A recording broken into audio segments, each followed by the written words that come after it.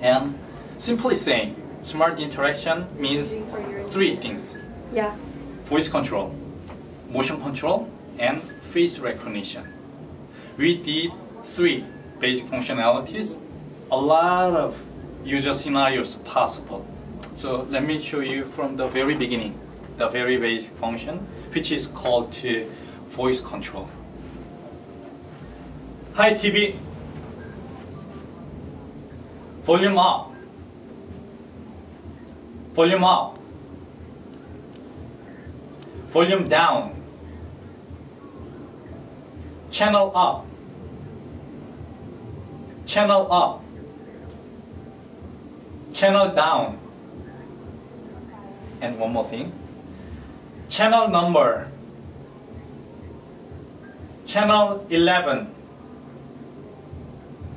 As you witness, you can go directly to your favorite TV channel. And uh, let me demonstrate the Yeah. motion control. Okay. Uh, let me do the same task by motion control. Okay, so it have sensor Yeah. to detect yeah. your motion. It's a camera, Yeah. and at, the two side is the microphone. Microphone. Yeah, and inside there's some microchips. So it's a whole one well organized one body. Okay. So if you use the motion control, the first step is to toward your hand to the camera and move gently like that. And then you can move the cursor Yeah.